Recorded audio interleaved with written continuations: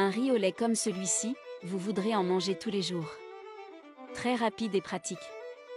Dans une casserole, je vais ajouter une cuillère à soupe de beurre ou de margarine. Faisons-le fondre. Ensuite, ajoutez une tasse et demie de riz. On va le faire frire. Juste après, ajoutez 100 ml de Coca-Cola et mélangez bien le tout. Mes amours, de quelle ville suivez-vous cette vidéo?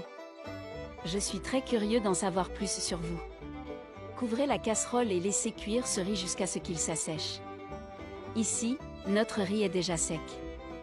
Je vais ouvrir un petit trou ici au milieu et ajouter 700 ml de lait.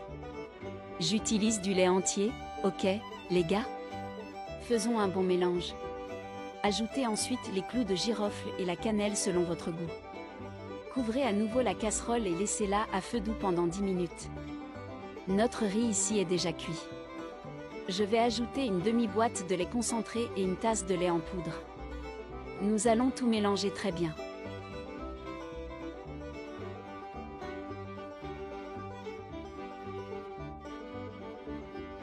Je vais aussi ajouter la noix de coco râpée.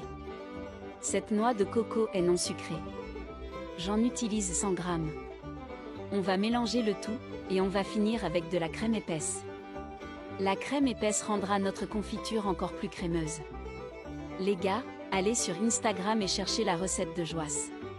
C'est notre page et elle est pleine de recettes très délicieuses. Je suis sûre que si vous y allez, vous ne voudrez plus partir.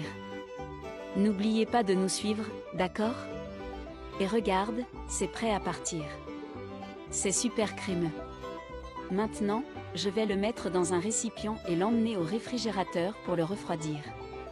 Vous pouvez le mettre dans le récipient que vous voulez. Regarde comme c'est délicieux. Vous ne pouvez pas résister. Super facile, rapide à faire et très savoureux.